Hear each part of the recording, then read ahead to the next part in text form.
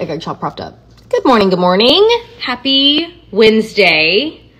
I am about to head out the door because a HEB, a new HEB opened up in Allen today. And apparent, I don't know, I actually didn't do any research on this. I don't know if an HEB is like a southern thing or if it's everywhere.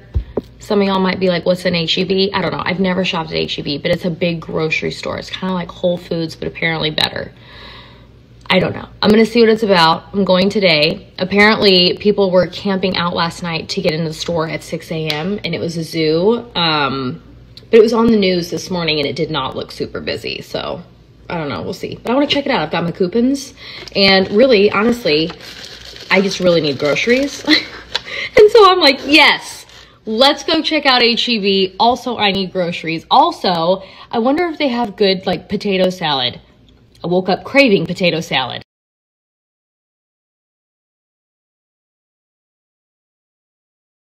Yes. For deals. I've got all my coupons in my purse, but just let them load it.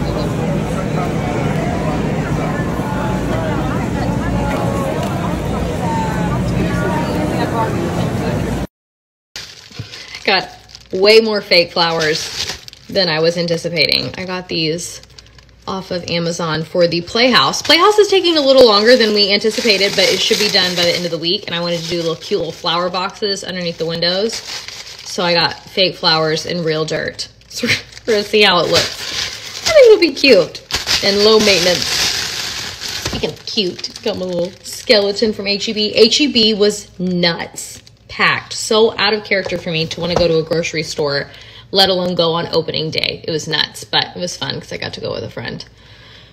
Probably won't be going back for a while.